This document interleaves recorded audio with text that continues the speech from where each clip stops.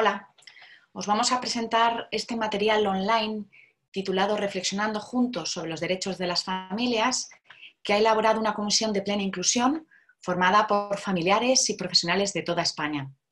Esta comisión, cuando se reunió, se dio cuenta de que durante mucho tiempo se ha hablado de los derechos de las personas con discapacidad y se había hablado mucho menos de los derechos de las familias.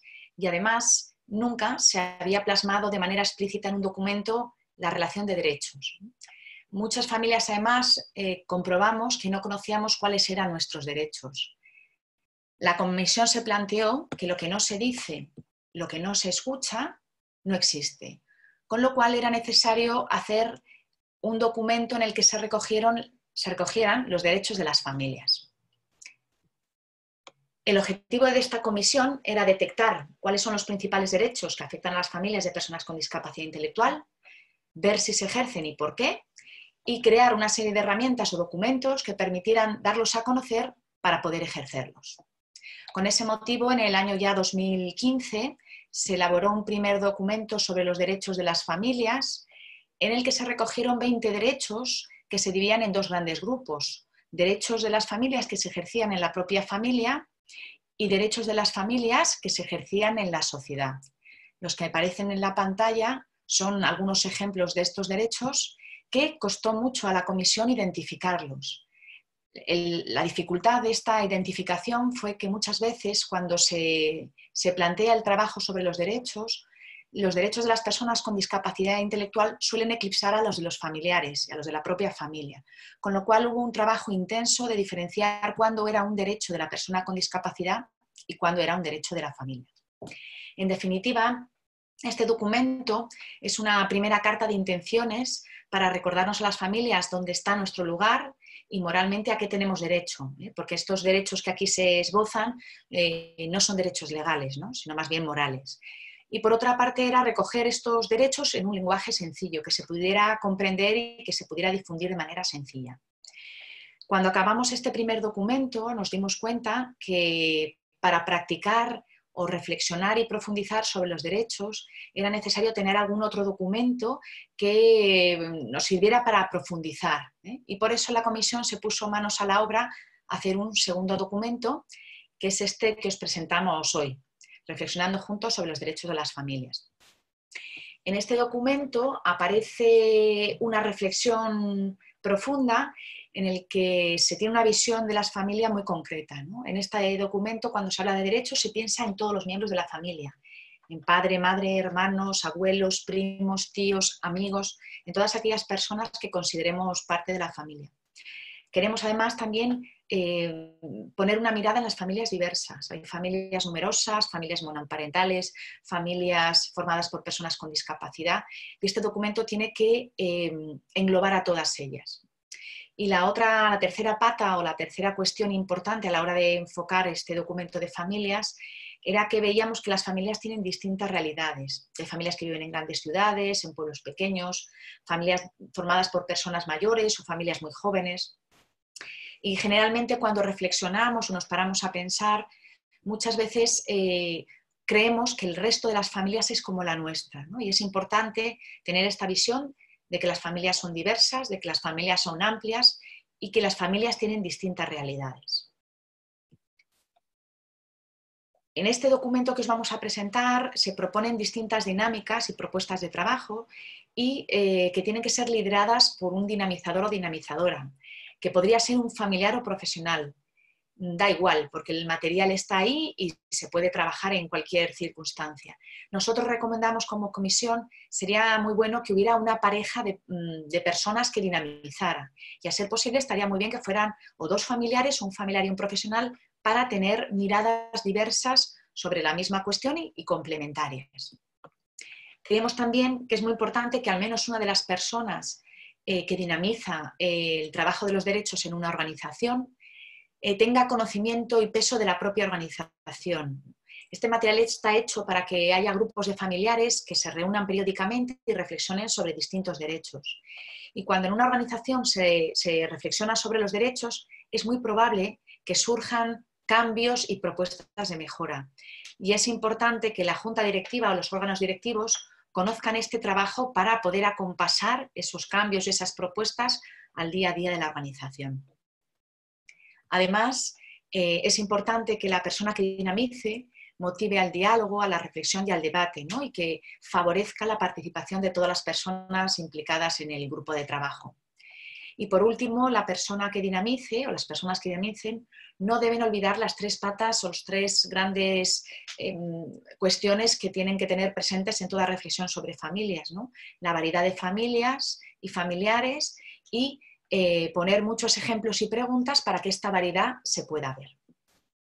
Este documento recoge los 20 derechos eh, que aparecían en el documento anterior y de cada uno de ellos va a hacer una propuesta de trabajo.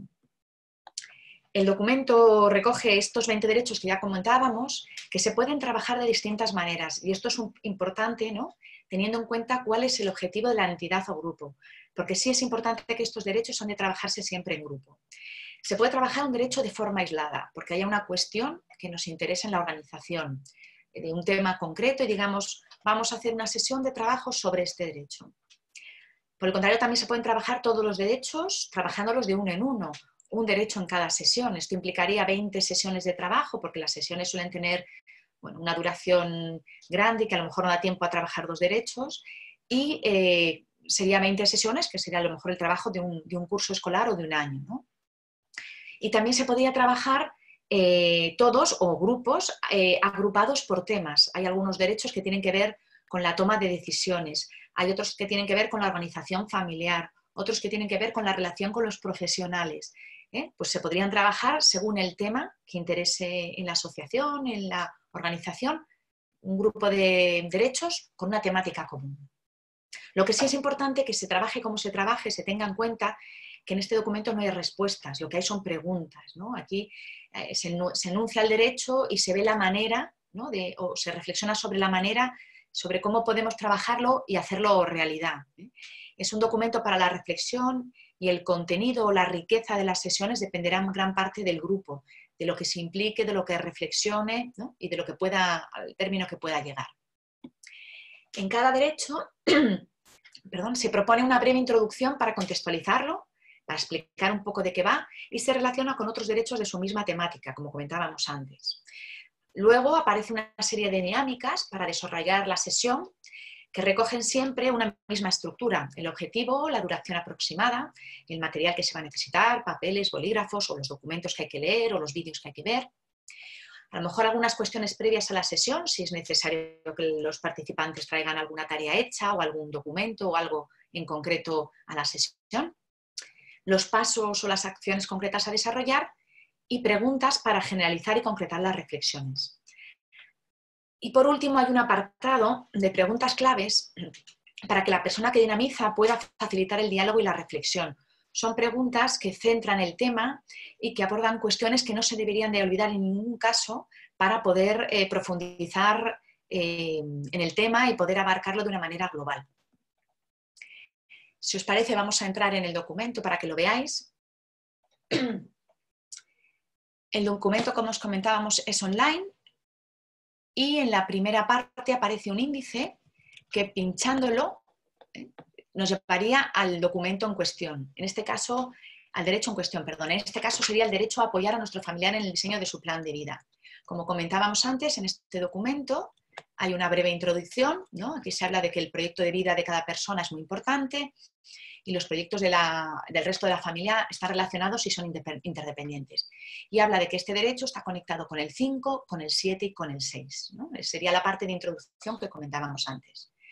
Después hay una parte que explica un poco el desarrollo de la sesión, cuenta el objetivo, que en este caso es tomar conciencia de que la familia debe participar en el diseño del plan de vida de la persona y, reflexionar sobre los límites de esa participación. La duración que se propone o que se estima que va a tener es de una hora y cuarto, pero puede depender mucho del grupo y de cómo se profundice en cada una de las dinámicas. ¿eh? Para los materiales habla de que hay que tener un ordenador, un proyector y en concreto hay un documento que habla sobre el proyecto de vida. Para acceder a ese documento pincharíamos en el link y se nos abriría el documento en cuestión. También aquí hay, eh, en este caso, por ejemplo, otros materiales que se necesitan, como la pizarra, rotuladores, el POSIT y también otro vídeo que se podría ver en el, eh, en el desarrollo de la sesión, que está en Internet y que se puede hacer directamente a través del link. En esta dinámica en concreto también se habla de cosas necesarias previas a la sesión. Por ejemplo, dice que la persona que dinamiza debe tener claro qué es un plan de vida y cuáles son los elementos claves para desarrollarlo. Es importante en este caso este tema porque ahí los planes de vida en algunas organizaciones se llaman eh, plan de futuro, plan de la persona, la planificación centrada en la persona. Bueno, sería interesante que la persona que lo dinamice, sea familiar o profesional, esté relacionada con este tipo de nomenclatura. Y luego también, por ejemplo, que, debe visionar el vídeo que se propone para ver si se va a proyectar entero o solo una parte. En este documento, perdón, en este objetivo también se habla de los pasos, de que la persona que dinamiza comienza con una pequeña introducción, que luego hace una pregunta al grupo sobre qué es el plan de vida, ¿eh? va contando aquí eh, que se propone una lluvia de ideas, posteriormente eh, se hace una puesta en común, se hacen grupos pequeños, va relatando un poco la dinámica de, que se va a trabajar el derecho. Y por último, esta primera parte acaba con una pregunta. Siempre la parte de la dinámica acaba con una pregunta que lo que trata de hacer es llevar a la acción a todos los miembros del grupo para poder em, trabajar ese derecho y hacerlo realidad. En este caso es qué podemos hacer para cambiar esta situación y apoyar más y mejor el plan de, nuestro plan de vida de nuestro familiar y en qué puede ayudarnos nuestra entidad. La idea es que se vayan anotando las ideas que van surgiendo en la pizarra y que cada participante señale qué puede hacer él en concreto o ella en concreto para cambiar esta situación e intentar que cada uno de ellos se lleve un compromiso de ponerlo en práctica. Y por último, hay una serie de preguntas para la reflexión son las preguntas que antes comentábamos que sirven para centrar el tema y que son preguntas que deben salir en el debate, en la puesta en común, en la reflexión. Que si el grupo no saca estos temas, es interesante que la persona que dinamice los aporte, ¿no? Y que pregunte, por ejemplo, si todo el mundo sabe lo que es un plan de vida, que cuáles son las claves de un plan de vida, que si tú tienes un plan de vida, que si no lo tienes, sabes lo que tienes que hacer para conseguirlo. Eh, si conoces los sueños y proyectos de tu familiar, cómo los conociste. Bueno, trata de indagar un poco en el plan de vida, el plan de vida de tu familiar y del resto de la familia. Es decir, cada derecho concluiría con una serie de preguntas que las puede tener la persona que dinamiza para dinamizar las distintas sesiones y para aportar los temas importantes del derecho si el grupo no los, no los saca. Y esto sería todo. Como veis, es un proyecto en el que tratamos de presentar eh, una serie de derechos con dinámicas para que se puedan trabajar en grupos de familiares en cualquier organización. Os deseamos mucha suerte y un buen trabajo con el material. Un abrazo.